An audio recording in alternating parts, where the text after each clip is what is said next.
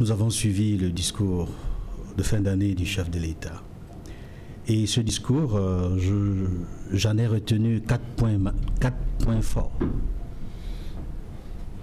Et, par rapport au discours de l'année dernière, il n'y a que l'année dernière, il n'y avait pas la pandémie de Covid-19. C'est parce que c'est par là qu'il a démarré, qu'il a commencé. Il évoquait dans la pandémie de Covid-19, dans le premier point. Deuxième point, c'était la sécurité et la paix au Cameroun.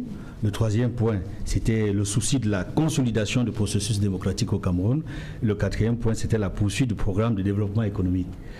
Et si Serge Alain Auto me le permet, je dirais quelques mots sur chacun de ces points. et dans le premier point qui concerne la, la COVID-19, le chef de l'État a dit qu'il est très tôt. Il est tôt pour en tirer les leçons de ce douloureux épisode. Mais il a dit que malgré les efforts qui sont fournis par le gouvernement, on ne va pas dormir sur nos lauriers. Et euh, il a rappelé, et on le sent, qu'il y a une nouvelle vague de virus. Une nouvelle vague de contamination. De contamination. Une nouvelle vague de contamination au coronavirus. Il a également évoqué la nécessité pour les Camerounais de continuer à respecter les mesures barrières, notamment porter les masques, laver les mains et, tout ce que cela comporte. La nécessité pour ceux qui ont des difficultés de, consulter des médecins. Je vais directement au deuxième point qu'il a évoqué, la sécurité et la paix.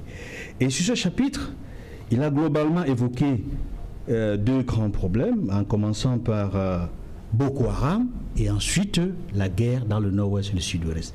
Sur Boko Haram, le président de la République a rappelé en fait euh, les difficultés que, connaissent nos, frères et sœurs dans les régions de la Damawa, du Nord et l'extrême Nord à travers les prises d'otages et le travail qui est fait par les forces spéciales, par les forces de défense et sécurité pour réduire l'impact de l'effet des raids qui sont effectués dans cette zone-là.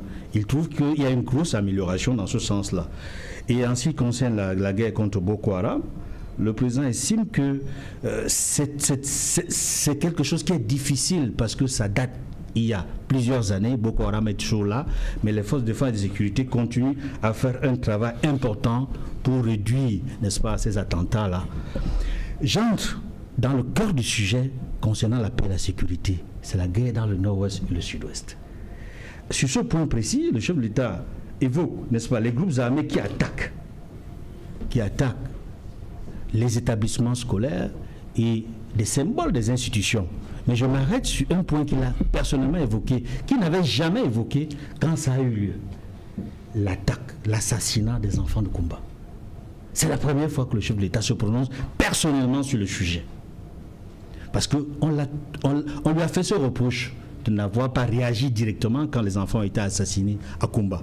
Il a évoqué cette, cette attaque-là. ses condoléances à travers le gouverneur de la région il l'avait fait. du sud-ouest. Oui, oui. Mais il n'avait pas directement parlé. Cette fois-ci, c'est lui-même qui parle. Il évoque le cas des enfants qui ont été assassinés à Kumba. Il a dit, et c'est important de le souligner, que ce crime ne, sera pas, ne restera pas impuni. Nous espérons donc que des efforts seront faits pour qu'effectivement les coupables soient retrouvés et et qui soit jugé par la justice et, châtié. Il a également évoqué l'appel à la responsabilité des pays qui hébergent les donneurs d'ordre, les donneurs d'ordre dans la guerre dans le nord-ouest et le sud-ouest.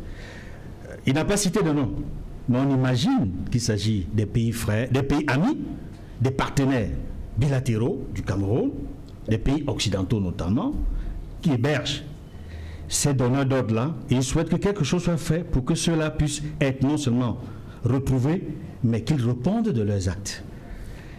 Et le chef de l'État également tenu à dire son soutien pour la bravoure des forces de défense et de sécurité qui se battent chaque jour, depuis plus de trois ans pratiquement, dans le nord-ouest et le sud-ouest, pour que la paix et la sécurité soient rétablies dans le nord-ouest et dans le sud-ouest.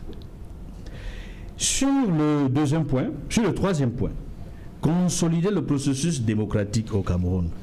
En réalité, avant que d'aborder, de faire l'historique, la chronologie des événements qui ont marqué le processus démocratique au Cameroun, notamment les sénatoriales qu'on attendait, qui ont eu lieu finalement. 2018, ouais. En 2018, les sénatoriales qui ont eu Mars lieu. 2018. Mars 2018, il a eu, il y a eu la, a dit, ouais.